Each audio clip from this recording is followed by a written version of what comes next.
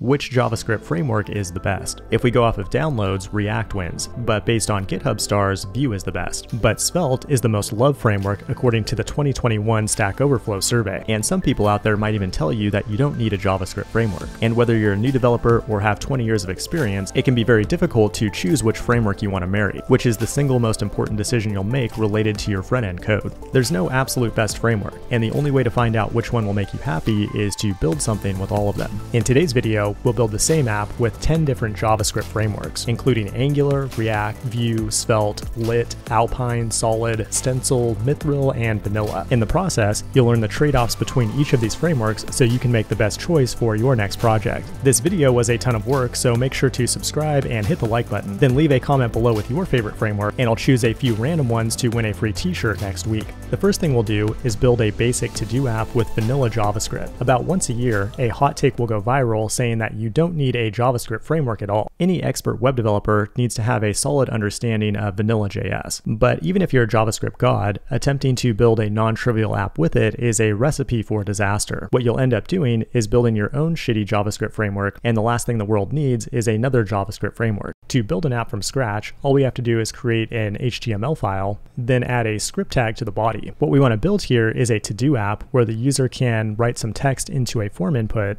then submit the form and have that item appear in the list. In addition, we'll save those items to local storage as kind of a mock database so that when the user refreshes the page, those items are still present. Pretty simple concept, but there's actually a lot going on there, like state management, data binding, events, and the application lifecycle to think about. The one thing that all frameworks do and Vanilla.js doesn't is provide a way to bind or connect your HTML to the JavaScript automatically. In Vanilla, we need to imperatively grab the HTML elements that we're working with from the DOM. And I can tell you right now, this is a very annoying way to build a complex application. As you can see here in the DOM, we have an unordered list for the to-dos, and then below that, we have a form with an input and a button to submit the form. Now going into the JavaScript, the first thing I'll do is write some code using document query selector to grab each one of these items from the DOM. Now that we have access to the HTML elements, I'm setting up an empty array here to represent the actual to-do items in the list. In addition to keeping track of the data, we also need to update the actual UI when that data changes. For that, I'm defining a function called addToDo that takes a new to-do item as its argument. Now, this is where things start to get ugly with vanilla. In order to update the UI, we need to manually create a new list item element by calling document create element. Then we need to imperatively update its inner HTML to the to-do text. And finally, append it to the unordered list in the DOM. And as an added touch, I'll save the data to local storage so we can access it when the page is refreshed. The problem with this code is that the application data or state is completely decoupled from the UI itself. And that makes it very hard to keep the data in sync with the UI. Now that we have this function in place, we need a way to call it when the user submits the form. For that, we need to register an event listener on the form's onSubmit event. When that event is fired, we'll first call prevent default to prevent it from refreshing the page, then call the add to do function with the current value in the text input. At this point, we should have a working to-do list. But one important thing to notice here is that if you look at the HTML markup, you really have no idea what it's doing. There's no way to tell this form has an event listener attached to it unless you go search through the JavaScript code itself, which is extremely difficult in a complex application. Now, one final thing to think about is the application lifecycle. When the app is first initialized, what we want to do here is grab the existing to-do items from the local storage and render them in the to-do list if they exist. If there are existing to-dos in local storage, we can loop over them with for each and call the add to-do function for each one of them. Congratulations, you just built a to-do app with Vanilla.js. But this code is not going to scale complexity very well. And there's likely many other features we'd want to add, like routing or animation, that we'd have to implement from scratch. And that's why the vast majority of developers choose to build their apps with a framework. First, we have React, which most people would consider the most popular framework. Some people call it a library, but it doesn't really matter because it's a tool that becomes the main driver of your project, requiring you, the developer, to do everything the React way. I don't mean that in a bad way because React was created by very smart people at Facebook to build complex UIs like the Facebook UI. React is minimal by design and relies on the open source community to handle other concerns like routing, animation, state management, and so on. It's not opinionated about how you organize your code, which requires you to make a lot of decisions about which libraries to bring in and how to make things maintainable and scalable. React is by far the most popular framework with over 10 million weekly downloads on NPM and over 170,000 GitHub stars. Its popularity alone makes it a great skill to learn because there are many employers out there looking to hire React developers, and you'll find tons of other React developers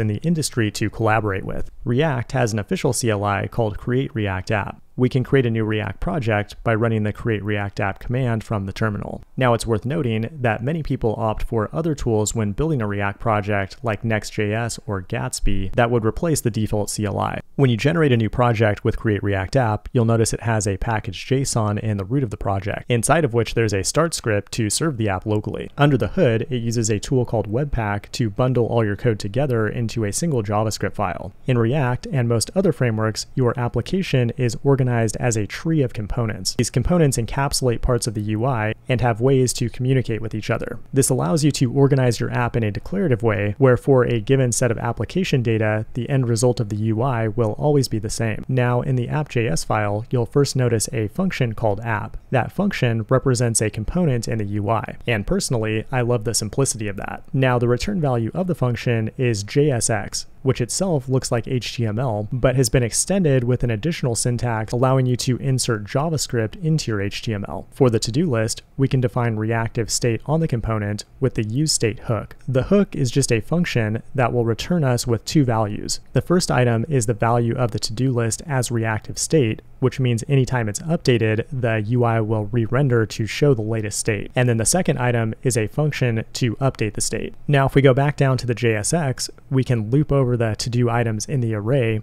and render them out directly in the UI as a list item. Then below that, we have an HTML form. But the cool thing about React is that we can bind an event directly to this form using onSubmit. Then on the right side of it, we can reference a function that will be called whenever the submit event fires and that function will update the state and store the result in local storage. You'll also notice that I'm using the useRef hook to grab the current value of the form input. One thing to notice here is that the HTML is a lot more descriptive. We know exactly which elements our data and events are bound to. Now, the final thing we need to do here is run a lifecycle hook. In React, that can be handled with the useEffect hook, which will grab the items from local storage when the component is first initialized. This hook can be really confusing though if you're just getting started. To only run it when the component is first initialized, I need to add an array as the second argument, and in my opinion, this code is just really hard to look at unless you really know what's going on with the useEffect hook. In any case, React is the gold standard for declarative UI frameworks, but there's more than one way to get the job done. Next, we have React's arch nemesis, Angular, which is developed and maintained by Google, and unlike React, is very opinionated about how to organize and structure a project. It has 75,000 GitHub stars and is the second most downloaded framework on NPM. It comes with officially supported libraries for routing, animation, and server-side rendering, and because it follows a set of predictable conventions, all Angular projects are structured relatively the same and have awesome tooling to go along with them. In fact, you are actually required to use TypeScript. Google uses it internally to build hundreds of different web apps throughout their product line. It's a great option for big teams, but maybe a little overwhelming if you're a beginner. To start an Angular project, run ng-new from the command line. That'll give us a fairly large project to get started that's already configured with TypeScript. We can build a component in the appcomponent.ts file, or we could use the CLI to generate generate a brand new component automatically. In fact, Angular has the most powerful CLI of all the frameworks by a pretty wide margin. And you'll notice the component itself is represented as a TypeScript class that has a component decorator on top of it. Now, it is possible to define an entire component in this TS file.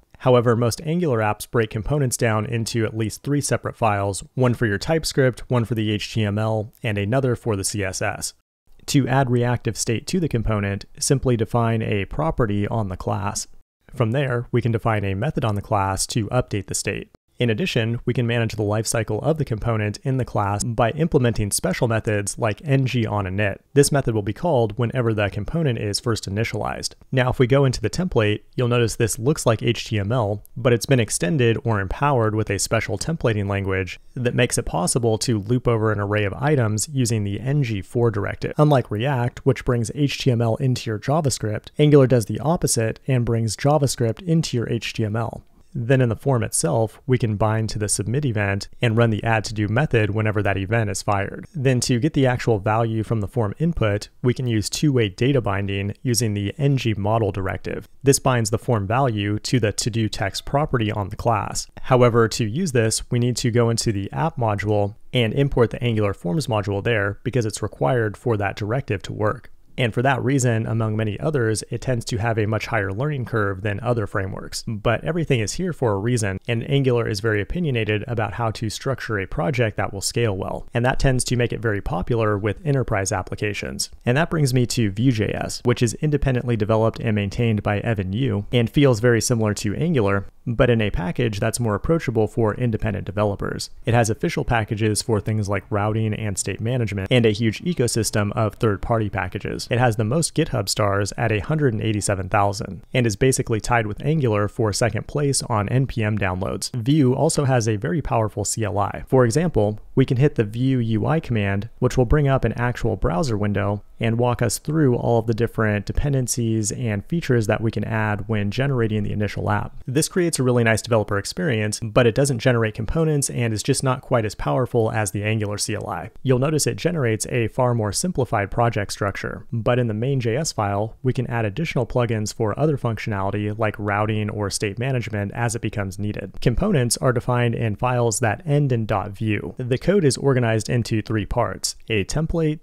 a script, and the styles. The component itself is represented as a plain JavaScript object, and we can define reactive data or state on it using the data property. Now to change the state, we have the methods property where we can define our add to do method that can be called when certain events are triggered. Then to tap into the component lifecycle, we have methods like mounted that will be called when the component is first initialized. Very similar concepts to React and Angular, the main difference being that we're working within the context of a plain JavaScript object instead of a function or class. In the template, we have a setup that's very similar to Angular that uses directives to handle things like v-for to loop over the to-do items or V on submit to handle the form submission. One thing that's nice here is that you can automatically prevent the default behavior by just adding .prevent to this directive instead of implementing that code in the method itself. You'll find a lot of little things like that in Vue that make your life easier. And lastly, we have the V model directive to bind the to-do text to the form input value. Vue is awesome and has a big community, but another independent option is Svelte. It was the most loved framework on the 2021 Stack Overflow survey and has about 50,000 GitHub stars. It's not as common as the other three in the wild, but is very well loved by the people who do use it. Like React, it's designed as a minimal library and relies on the open source community for other features like routing. One thing that makes it unique from the other frameworks is that it doesn't ship a runtime like Virtual DOM to the browser. Instead, it works as a compiler to turn your code into plain JavaScript. When you generate a new project, you'll have a rollup or Webpack config if you choose, which is used to bundle your code, and all the other CLI tools attempt to abstract that part away from from you. When building a Svelte project, you may need to learn a little bit about module bundlers, whereas the other frameworks try to hide that detail from you.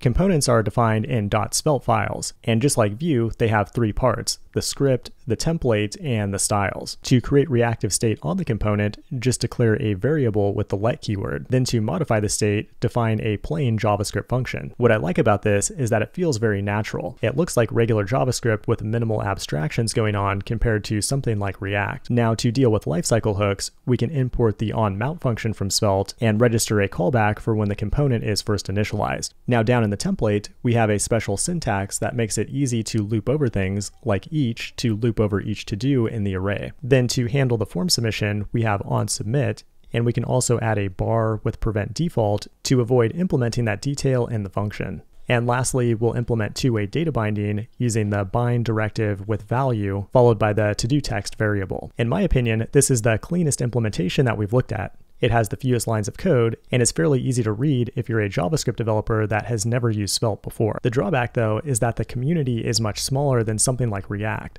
So if you need to use a supporting library or if you're looking to get a job, you might run into some more roadblocks than if you used a more popular framework. And the same goes for all the other frameworks that we'll look at from here, starting with Lit. Lit is a Google sponsored project that's focused on building web components. If you're not familiar, web components are a browser standard that allows you to create custom elements that can work across multiple frameworks. Sounds great, but the web components API is notoriously difficult to work with. The cool thing about Lit is that when you define a component, it's creating a standard custom element under the hood. Now, other frameworks can do that as well, but for most of them, it's just an afterthought, and the developer experience is usually not ideal if your goal is to build standard web components. Lit doesn't have a CLI of its own, but there is a starter project to get us going. I'm using the TypeScript version here, but that part is optional. Inside the lit app TS file, you'll notice that it's calling window custom elements, which is part of the web components API in the browser. That's just a unique point that you won't see in other frameworks by default. Components themselves are defined as a class that extends lit element. Reactive data can be defined as properties on the class using the property decorator. Then methods can be defined on the class to update the state. Lifecycle hooks are based on the ones defined in the actual Web Components API, like connected callback by implementing the connected callback method, we can run code when the component is first initialized. Now, one thing that's really interesting about lit is the way that it handles templates. It uses the existing template literals that we have in JavaScript, or in other words, a string that starts with backticks. This allows you to interpolate JavaScript into an HTML string using dollar sign braces. The end result is something that feels kind of similar to JSX and React, but the HTML can also have directives like submit or dot value to bind to the form submit event or the input value. And as far as I can tell, it doesn't support two-way data binding, so I had to set up an event listener here on the input change event to update the to-do text whenever that event fires. The bottom line with Lit is that you get a much nicer way to build standard web components without having to be an expert on the underlying APIs. And that brings me to an alternative framework that is also focused on web components called Stencil. This one comes from the team behind the Ionic framework, which itself is actually a component library for mobile development that's built with Stencil. They use web components for the purpose of making Ionic compatible with React, Angular, and Vue out of the box. Create a new app by running npm init stencil, and that will give you a TypeScript project to get started. Just like Lit, it will take each component and compile it down to a standard web component. A component itself is a class with the component decorator, which looks very similar to Angular. Then reactive data can be defined as properties with the state decorator. Custom methods can be defined to update the state. Then we have lifecycle hooks like component will load to run code when the component is first initialized. At this point, this component looks almost exactly like an Angular component, but for templating, it uses JSX like React. That gives you the best or worst of both worlds depending on who you ask. The template looks almost exactly like the React app, but it doesn't appear to support two-way data binding, which means I've also added an extra event listener for on input to update the to-do text when the user types into the form. Stencil is another great option for building web components, but now we're going to move on to a framework that I get a ton of requests for, Solid.js. It's a tool for building UI components and feels very inspired by React, but the main difference is that it doesn't use the virtual DOM. Instead, it compiles your code down to native DOM nodes similar to Svelte. And because of this, it hits very high performance marks across every benchmark. You can think of it like a faster, more developer-friendly version of React, but the drawback is that it has a smaller community to draw from. When you generate a new project, it uses Vite as the build tool, which is cool, then you have components defined in JSX files just like React. Components are defined as functions. Then to define reactive state on the component, we use something very similar to a React hook called a signal. It returns us with a reactive value and a function to update that value. We can then define a function to update the state and if we want to use a lifecycle hook, instead of use effect, we have the much more readable on mount hook that will run when the component is first initialized. Now for the UI itself, we use JSX. It looks pretty much identical to the React code, but I've noticed that Solid does things to make your life easier. For example, we can bind the form value to a variable using ref. And unlike React, we don't need to import the useRef hook to do that. Overall, Solid.js feels like a more well thought out and faster version of React. But now let's look at something totally different. Alpine.js. It's a tiny library at around 4 kilobytes that allows you to extend your existing HTML with reactive data and many of the features that you would find in the frameworks we've already looked at. Instead of primarily focusing on JavaScript, with Alpine, you generally focus on your HTML. If you've ever used Tailwind for CSS, you can think of Alpine as the equivalent in JavaScript. It has over 17,000 GitHub stars and is a popular replacement for jQuery. To get started, create an HTML file, then add the Alpine script to the head. Reactive data can be stored directly in a DOM node using the xData attribute. That data can then be used in a child element with something like x-for to loop over the array of to-dos. Then down in the form, we can use x on submit and also prevent default, and then bind it to a function in our JavaScript. The concepts here are very similar to the other frameworks that we've looked at, but in this case we're working with raw HTML as opposed to some custom templating language or JSX. Now if we do want to write some plain JavaScript, we can do that in a script tag. And Alpine actually has a mechanism called Alpine Store that allows us to store data and share it between multiple components in the UI. That's what we'll need to do for our to-dos so that we can load them from local storage. To handle that when the component is first initialized, we can call document add event listener to the custom Alpine init event, and then update the data from the store when that event fires. And that gives us a complete app with very minimal code. In my opinion, Alpine feels like an awesome option when you just want to add a little bit of JavaScript interactivity to an existing HTML page. But at the same time, I don't think Alpine could replace something like React, Vue, or Angular. So if you're building a very complicated single page application, it might be best to stick with one of those. And that brings us to the final wildcard framework, Mithril. It's also very lightweight and tends to perform better than the big frameworks. It uses virtual DOM like React and Vue, but the overall developer experience is a lot different. To get started, create an index.html file, then add the Mithril script tag to it. You can actually create components from functions, classes, or as we're doing here, a plain JavaScript object we can add data and methods to the component as properties on the object. There are also special properties like onInit, which is the lifecycle hook for when the component is first initialized. Then we have view to define the UI itself. To define a DOM node, we use the m function and pass the name of that node as the first argument, then options about the node as the second argument, like the class name, for example. Or you can pass children as the second argument, like we're doing here to map an array of list items. Then down on the form element, we're defining a handler for the onSubmit event. What you have here is something that is kind of similar to JSX, but the UI is truly defined in pure JavaScript. If you hate HTML and never want to touch it, you might like this system. But personally, I found it a bit awkward, and the Mithril app actually took me the longest amount of time to build. But like I said before, it really comes down to personal preference, and I could see why someone would really like this. And there you have 10 different ways to build the exact same JavaScript app. There are new frameworks popping up every couple days, so this video will likely be very outdated by the time you finish watching it. The bottom line is that all these frameworks can do the same basic thing. It's really just a matter of choosing the one that makes you and your teammates happy. If you want to see frameworks like Angular, React, and Vue in action, consider becoming a pro member at Fireship.io to get access to my full courses. Thanks for watching, and I will see you in the next one.